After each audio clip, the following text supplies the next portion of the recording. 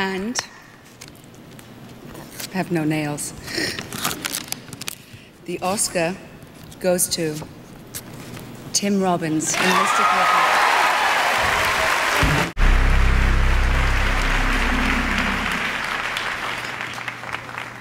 And the Oscar goes to Alan Arkin in Little Miss Sunshine.